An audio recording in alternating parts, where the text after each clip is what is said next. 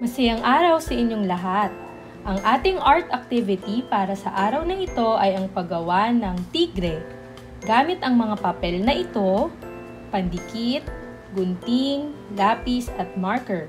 Dahil ang ating kaibigang letra ay letrang T na may tunog na T, T, T para sa salitang tigre. Tara, simulan na natin para sa mga gugupiting mga papel upang makabuo ng tigre, maaaring magpatulong sa inyong mga magulang. Mag-ingat sa paggamit ng gunting.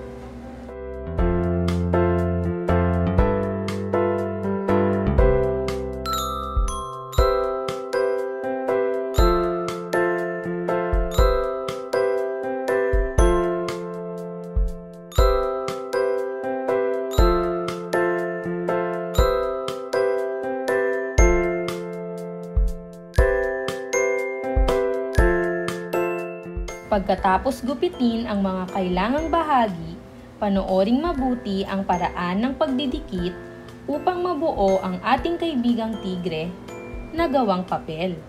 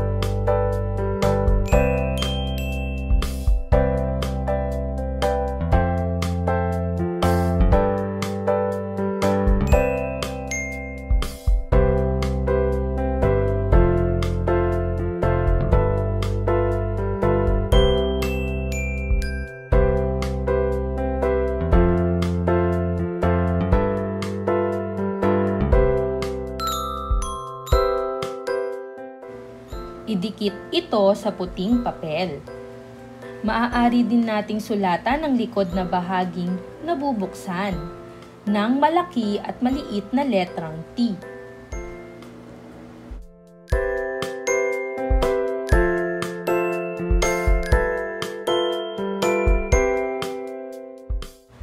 Natapos na natin ang ating art project na tigre para sa letrang T.